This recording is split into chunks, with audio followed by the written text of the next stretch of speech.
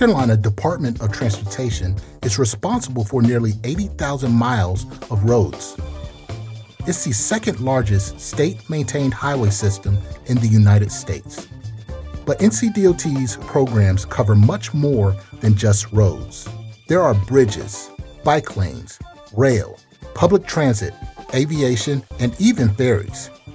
And big changes are underway in transportation as people transition away from gas powered cars and trucks to electric, autonomous, and connected vehicles.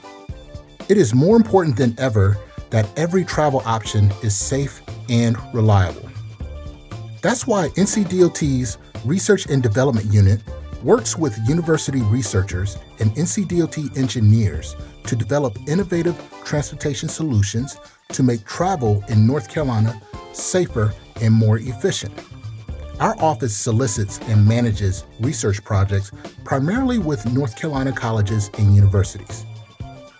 NCDOT engineers from various disciplines champion these projects and ensure the project goals are met.